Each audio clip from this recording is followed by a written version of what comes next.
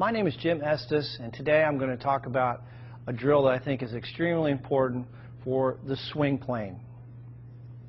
So what I want you to do is, and this, by the way, is going to give you an instant understanding of exactly the feeling you want to have in the golf swing. Take a club, you can put a rod, alignment rod in the grip, or I'm sorry, in the butt end of the golf club. Take the golf club, turn it like you're going to hold it, and then what I want you to do is take that club, put it right against your left hip, so you're holding both clubs here. Now you've got an alignment rod on the ground and a golf ball. And what I want you to do, getting into your good posture position, your weight over the arches, getting feel balanced.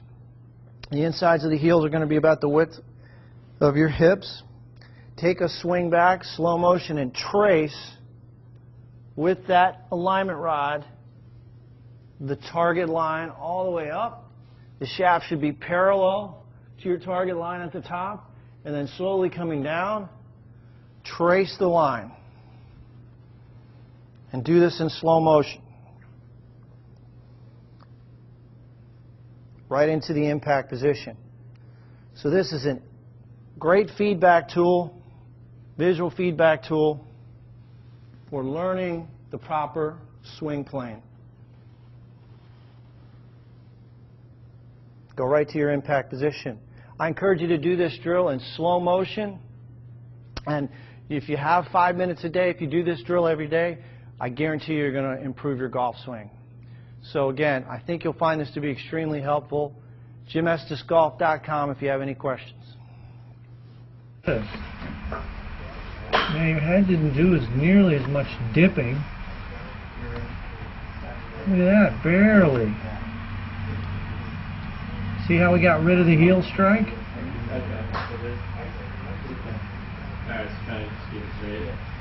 So you just fixed it.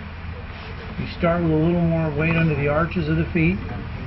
As you go back, you load that right heel. See how your right hip gets deep? Goes behind that box. See how it keeps, well, you want a little thrust in there, but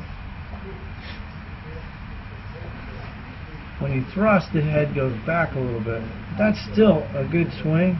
I'm still doing it. yeah, even when I think I'm not. Swing plane. I'm going to say that was, you're still not, shoulders are better. Club gets a little bit under the plane there. You see how that club should be in the yellow cone. The club that should be in the yellow cone, you're a little underneath it. So that's the inside out swing plane path. And that's the push. 2.3 though, we've improved it. You were 6.